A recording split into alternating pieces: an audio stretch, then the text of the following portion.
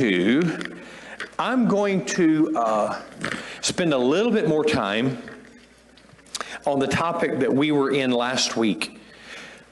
Uh, which is we were talking at the end of the at the end of the lesson we were talking about sin and how our sin you know affects us of course the, the new the sin nature was passed on to us from adam and eve we have this sin nature and how does it affect us and then how does our sin affect us meaning our attitudes meaning our feelings meaning who we are and I'm going to stay there. I'm not, I'm not going to, I'm not going to uh, repeat anything from last week. But, but that topic we're going to stay on for one more week because I believe, I believe that this is one of the biggest reasons why people, why churches in America grow cold, why churches in America become apathetic toward God, toward the things of God, because they first grow cold in their attitude toward their sin. I believe that. I believe that we get apathetic. The people in our churches get apathetic about their sin. Our sin put Jesus Christ on the what? Cross. He had no sin, right? He had no sin, and we had no righteousness. So that doctrine of imputation comes into play. He dies for us. He purchased salvation. His righteousness was, was put on our account. All of our sins and the sins of the world, world were put on His account that day as He paid the sin debt. And then what do we do in America? We're, we're cold. Just, at, just as American churches. Cold. We have prayer meetings you know, and we have, we have prayer meetings on Thursdays. The ladies meet at 1 o'clock and five or six people will show up. We have prayer meetings on um, Wednesday, or Tuesday night at, uh, at 5.30 for men, men's prayer meeting. And, you know, four or five will show up. That, that's the best. I mean, that, that's the best. Four or five people. So, um,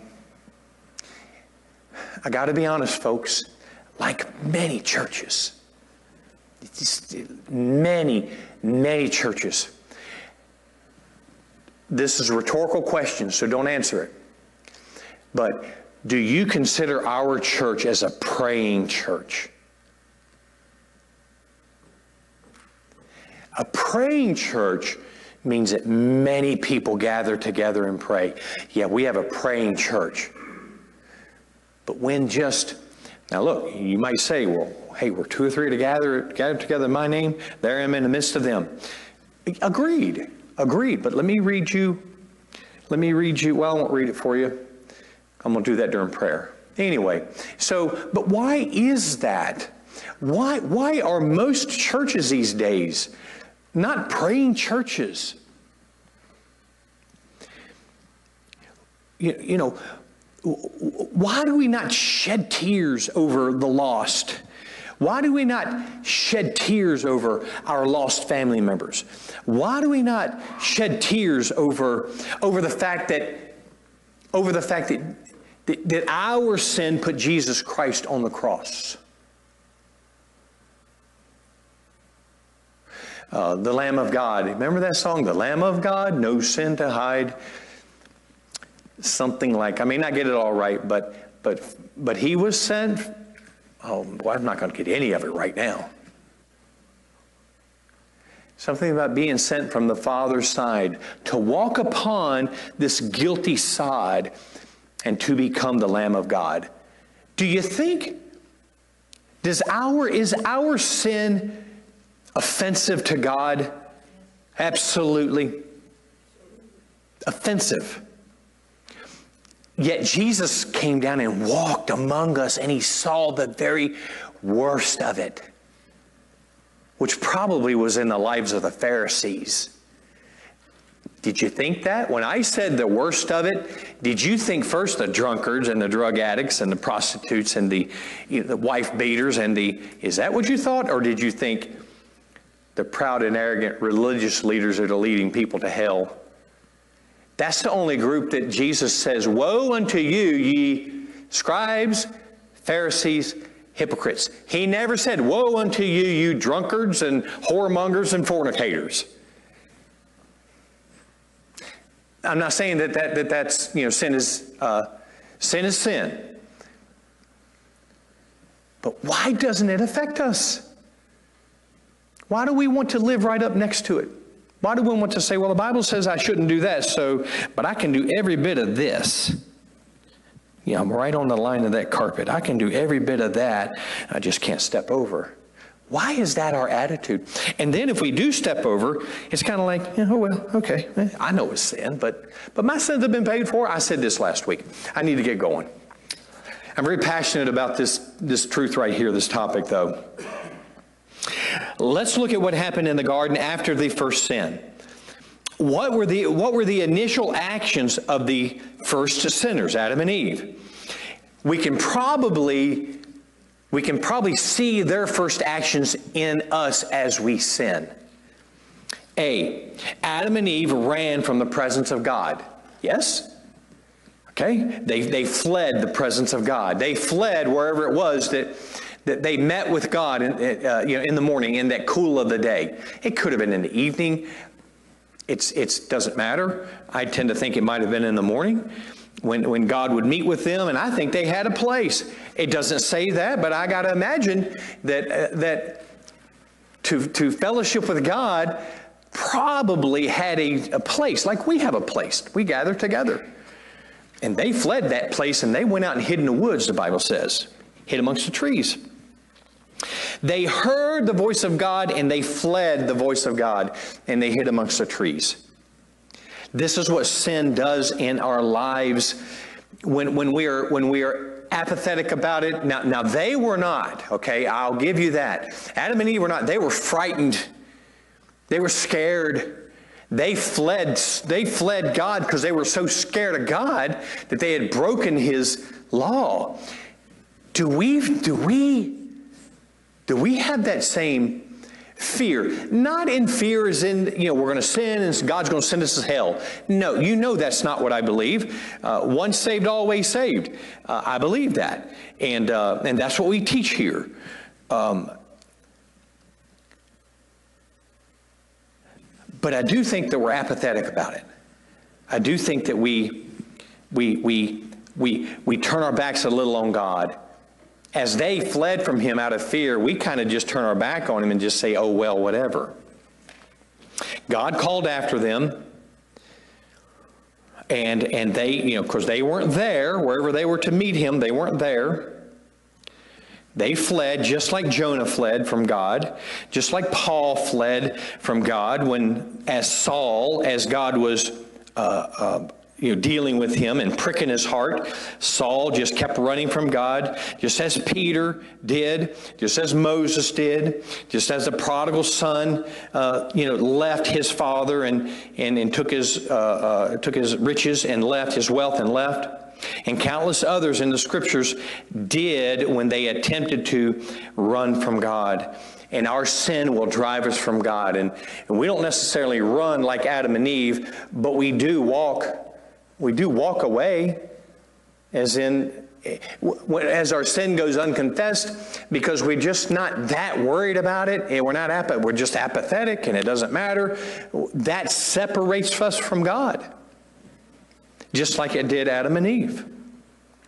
The remarkable difference between them and many church members is that they ran and hid, while we arrogantly often come into the presence of God wearing our fig leaves.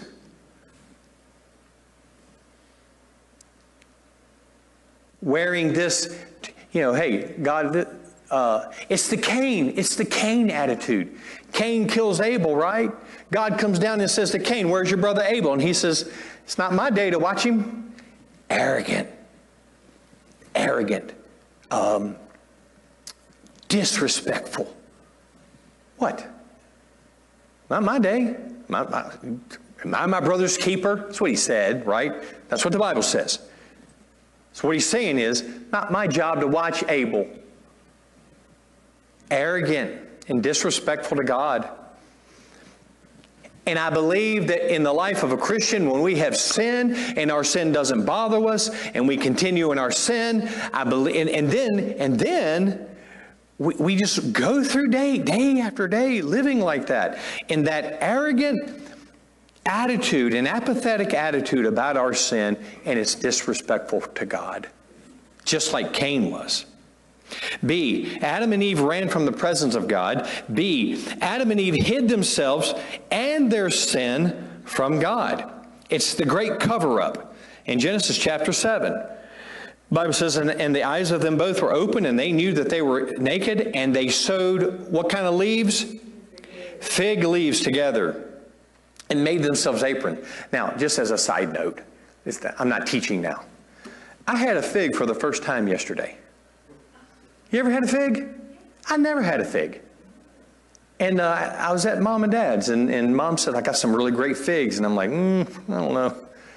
And uh, she said, No, you really need to taste one. So I ate one, and then I thought, Well, it, it's, it tastes a little like a peach to me. You know, we all have different taste buds, but I said, It tastes a little like a peach, and it's got the consistency of kind of a more soft peach. Okay, now I'm back to teaching. Here we are presented with the fig leaf factor, which appears today in many different forms. They said, We're naked and we've got to cover up. And they sewed fig leaves together. Now we know, uh, you know, those of us that know the Bible, we know that's a problem. That's a representation of man solving his sin problem. What does he do? He gets fig leaves. Now we'll talk about what God does later.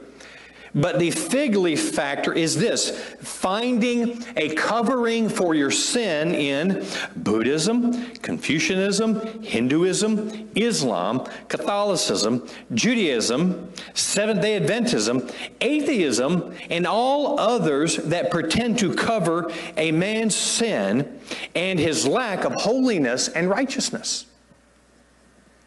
They sewed fig leaves together. And they said that that'll fix it.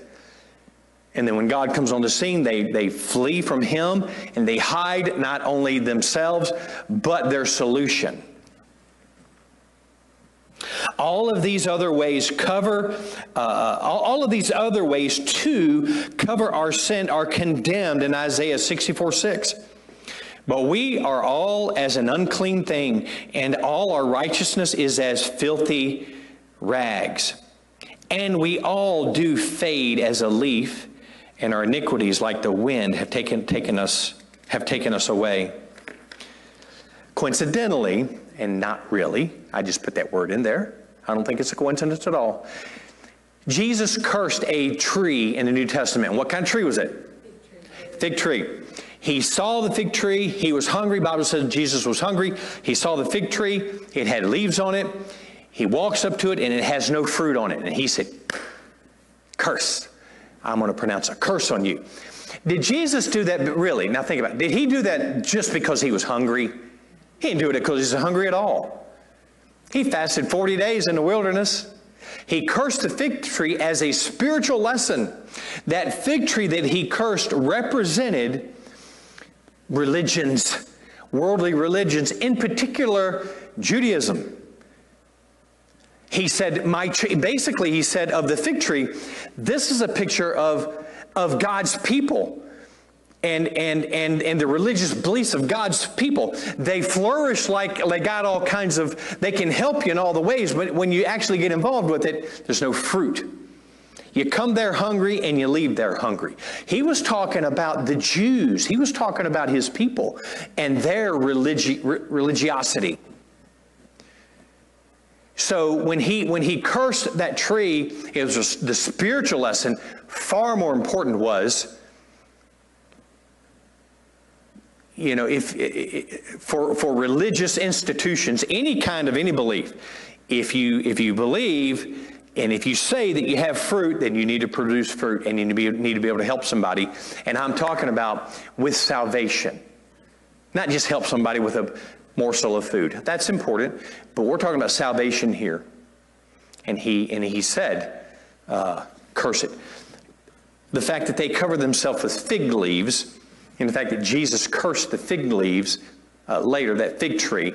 Those tie together. That's where the New Testament is working in unison with the Old Testament.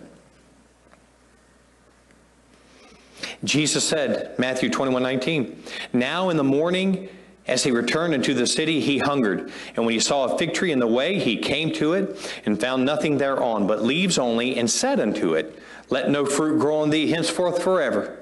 And presently the fig tree withered away. How many people go to hell because they have put their faith in some belief system that is incapable of delivering their soul from eternal judgment? Sometimes people get, you know, we call it low hanging fruit. You know, when we see somebody saved and, and they were just easily saved, uh, you know, much like Brandy uh, the other day, she was just so ready to fall. you know, she was ready. Okay, well, what happened? What would have happened, you know, if, if Clover Hill Baptist Church hadn't been in their lives? What happened if somebody else came by the door and, and, and saved, Nate's squared away, he would never allow this to happen. But let's just say, there are people out there that are that, that the the situations in life have brought them to a point where they're ready to believe in something. And if the Christian doesn't get there with the gospel, they may believe the Mormon that comes by next because they're ready. You know what I'm saying? They're ready to fall. And that's why it's, it's so important for us to get out and to knock on doors and, uh, and to give tracts out. You never know when you'll put that tract in the hand of somebody that says, This is what I've been looking for.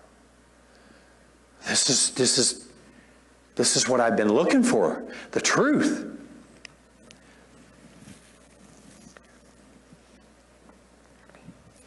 Genesis 3:10 uh, they ran and hid now, this is where we're, we're still under that the second point. Adam and Eve hid themselves in their uh, and their sin from God. The great cover up is what they did to cover themselves up, and and that's faulty. Sin brings guilt, guilt brings shame, and shame compels the sinner to run and hide. Where do they run and hide? Behind the trees of indifference, uh, innocence, as in I've done no wrong, behind the trees of ignorance, behind the trees of indulgence. These are where people that are rejecting Christ go to find their peace. The very trees given to them for food have now been turned into barricades. God gave them all of these trees and said, Eat of all of these trees in the garden. And what was a provision of God now became a, bar- now became a barricade from God as they hid behind the trees. You know, there, there's a lot going on here in this story than just, you know, they hid behind the, behind the trees. No, yet they did that, but the spiritual implication is there that, that they, and that they use the, the things that God had given them now as a barricade against him. And we do the same thing. We do the prosperity that God has, I'm sorry, we use the prosperity that God has given this country as a shield against God. And I, and I spent time on this last week, and I'm not, not going to go there again, uh, at least for long. Uh, we use it as a barricade as we reject God, and, and we use the very prosperity that He gave to our country as a defense mechanism.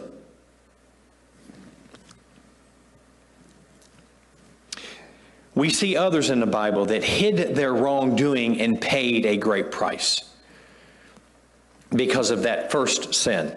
Cain killed Abel. Bible doesn't say he hid the body of, of, of Abel, uh, but as Mark is thinking of this, you know, I, th- I think that, I suppose he probably did. Generally, when people kill other people, they, they hide them. They still do in this day and time. Moses killed the Egyptian and buried his body, did he not? In the sand. He hid the Egyptian that he killed. Achan stole the treasures from Jericho, and he did what with them under the floor of his tent? He hid them, buried them, he hid them. The unjust servant in the parable, Jesus' parable, the unjust servant hid the master's money, hid it in the ground, dug a hole, put it, and he hid it. And he was rebuked sternly for that. Ananias and Sapphira hid the truth from the apostles, did they not? Hid the truth. They came in and we sold the land for this. And, and um, And of course, the apostles said, uh, We don't think so. We think you're lying to the Holy Ghost. Boom. And Ananias falls dead. Sapphira comes in several hours later. See those men over there? Look at those men. They are the ones that carried your dead husband out of here just a few hours ago. And the same for you. And he killed them for hiding the truth. Proverbs 28 13 says, He that, and I mentioned this last week, he that covereth his sins shall not what? Does anybody know? Prosper. But whoso confesseth and forsaketh them shall have mercy. Confesseth and forsaketh. We allow that sin, we, look, we allow the guilt to do its work in our hearts. That Holy Spirit that says, You are dead wrong now, and you need to get to God and get this thing right with God. Confess it. Take it to God and confess it. I'm sorry. You are right. I am totally wrong. We are in agreement on this matter. And, and, and, and, and I'm so sorry, and I apologize for that. Confesseth and forsaketh. That means you confess a sin and then you walk away from it. I mean, you, you don't just go out and day after day after day, you know, thinking, well, I'll just go out and commit the same sin and I'll just go confess it. Ain't no big deal. Take a couple minutes out of my night tonight. Mm-mm. Now, God says you, you need to be forsaking it. You, you, you, it doesn't mean that you, you, will never do it again, but it does mean that in your mind and in your heart, you're saying, I'm never doing that again. I'm forsaking that. And then sometimes we do fall. Sometimes we are, you know, we're, we're, we, we, we're, we're, we're addicted to some sin of some sort. And sometimes we do keep going back there. But as long as we leave God and say, oh, by the power of God, I'll never do that again, that's forsaking. And, and, and you may do it again, but you just keep going back until, until God gives you, helps you to have the victory. Psalm 32, 5 and 7 say this I acknowledged my sin unto thee, and mine iniquity have I not hid. I said, I will confess my transgressions unto the Lord, and thou favorest the iniquity of my sin. I'm sorry, forgottest the iniquity of my sin. Thou art my hiding place. Thou shalt preserve me from trouble. Thou shalt compass me about with songs of deliverance. We take sin and we hide it. Adam and Eve hid themselves and their sin from God. And we take our sins and we want to hide it and act like eh, we never committed it. And we, t- and we take the hiding, the hiding, uh, God says, look, you're hiding your sin when you're supposed to be hiding in me. You're supposed to be high. I am your refuge. I am your strong tower. I am your fortress, and I will fight for you, and I will defend you, and I will meet your needs, and I will, and I will, and I will. When you are in me, when you have when you have found your hiding place in me, hiding from what? Hiding from the world, hiding from the temptations of the world, hiding from the evil one. Hide, no, we run to God and we hide in God. Yet we, as humans, with a sinful nature, we flip that. Instead of hiding in God, we hide our sin from God. And we, we can't do that, but it is what we attempt to do. C, A was Adam and Eve ran from the presence of God, and that's what sin will do. It'll, call, it'll break your relationship and, uh, and it will cause you to walk away. B, Adam and Eve hid themselves and their sin from God. The great cover up. They sewed leaves, uh, you know, fig, fig tree leaves, uh, and, and as, as to cover their nakedness. But we know that God, when God came on the scene, He says, that's, uh, that's not how this works. You'll never be able to cover yourself with leaves that you made together. He says, No, I'm going to kill I'm going to kill an animal, or maybe two, and he made them skins to cover from the animal skins. That became their clothes. That pictures Jesus Christ because the Lamb of God was slain for the sins of the world. And God says, No, the works that you did in sewing together these fig leaves, that's all you. And that's your answer. That's your solution. He said, But that's not mine. And you'll go to hell with that one. And uh, let me show you what the solution is. And uh, and, and, it's uh, the first promise of the Redeemer is found in Genesis chapter 3 and verse 15. And I'll read that for you. And I will put enmity between thee and the woman, and between thy seed and her seed. He's speaking to the to the serpent now. It shall bruise thy head, and thou shalt bruise his heel. There are those that say that bruising the heel of Christ was on Calvary when when Christ died for our sins. But then when on Calvary, when uh, Christ died for our sins, he crushed death. He through death he defeated death.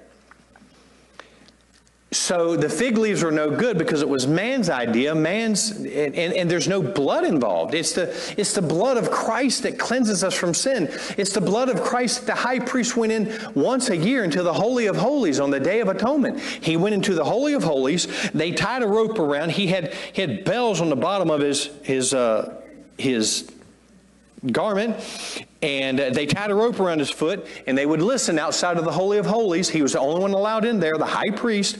And if they heard the bells stop jingling, they knew that he was dead. They knew that God had killed him, and they would pull him out by his foot because they couldn't go in there and get him.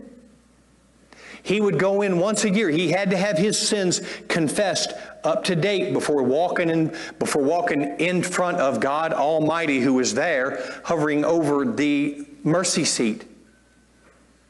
He would sprinkle blood from the land that was slain, uh, uh, and he would take that blood and sprinkle it. It was a covering. It was a covering. The blood, the red, the rich red crimson blood of Christ covered our sins. And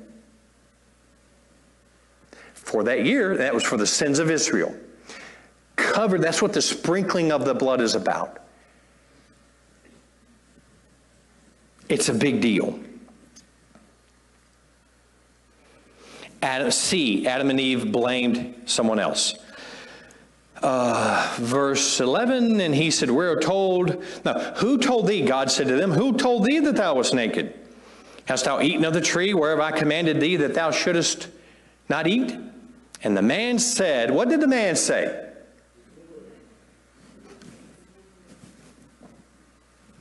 Immediately. That's what he said. He, he actually said, The woman that you gave me, you're in this too. You're in this too. And I think that's fear just scratching for a bailout. But he actually blames God along with Eve.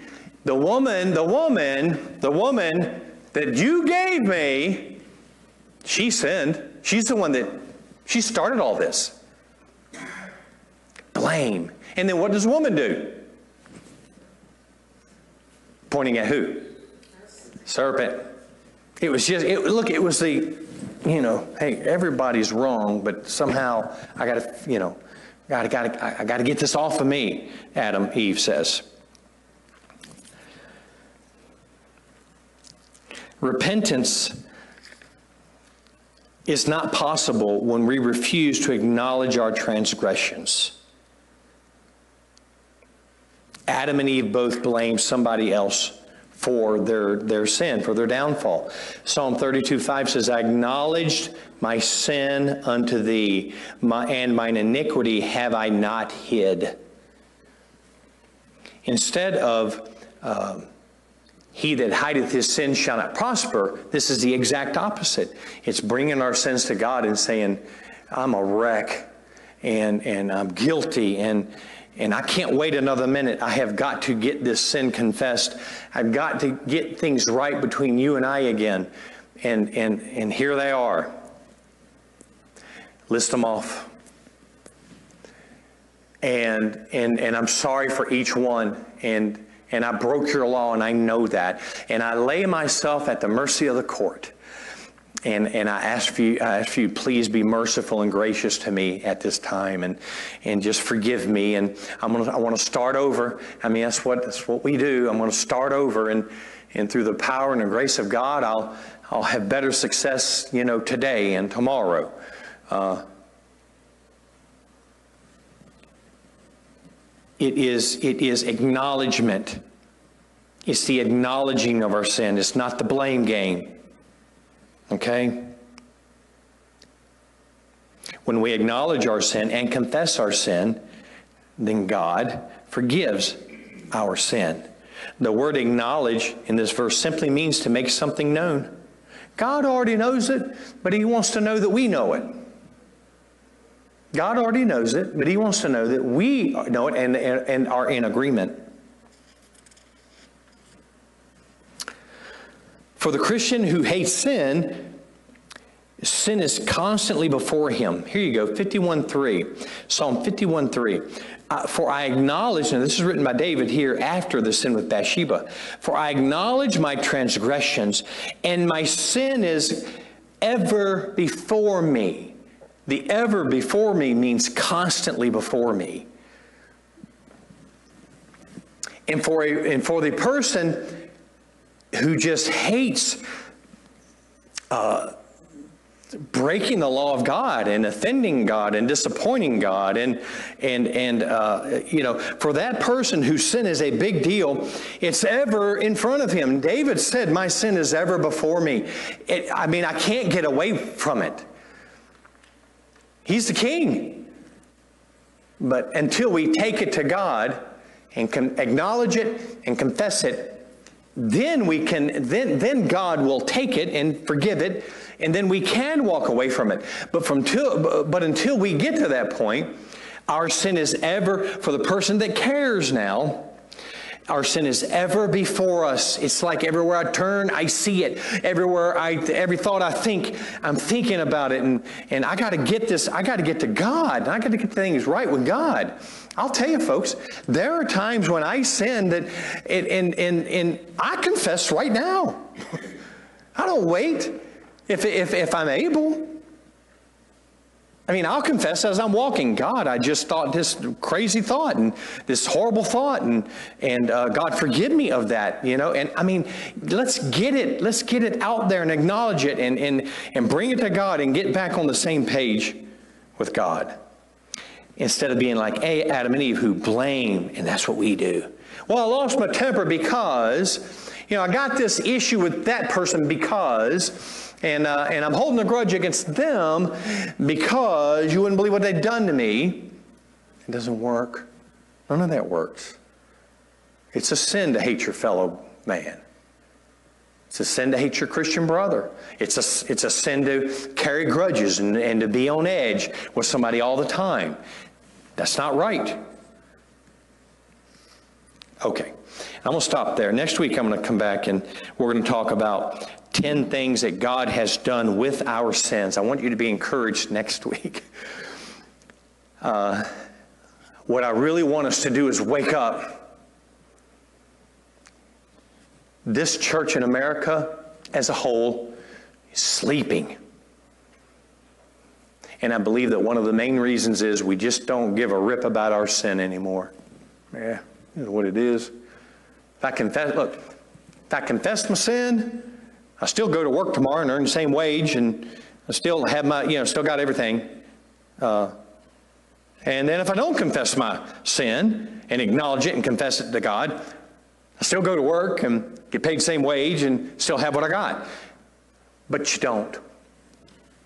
You do physically, but you don't spiritually. You're, you're broken. And that, and that relationship with your Heavenly Father is broken.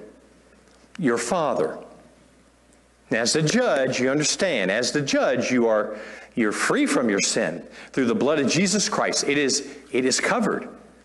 But as a father, it has, it has, it has hurt your relationship and you don't, we don't know it. And because we see no change in our lifestyles, we think it doesn't matter when it does. It's of the utmost importance to hate sin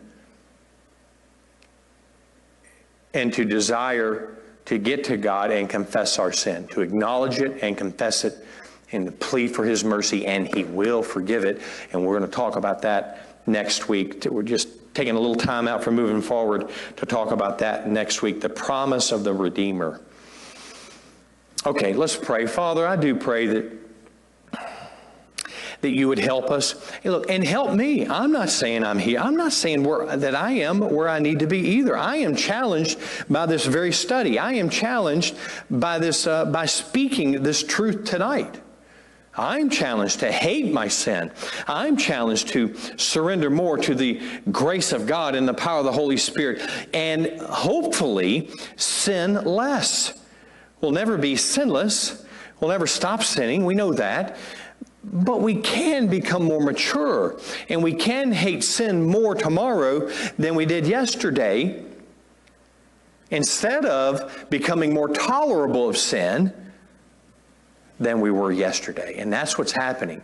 Believers and churches are becoming tolerant of the sinful the sinfulness of the world and God help us not to go there help us to care and to love you so much with a love that just gets upset even to tears over our sin and help us to get right and you are all about that God help us to move toward this well, to continually grow in this way till we see Jesus.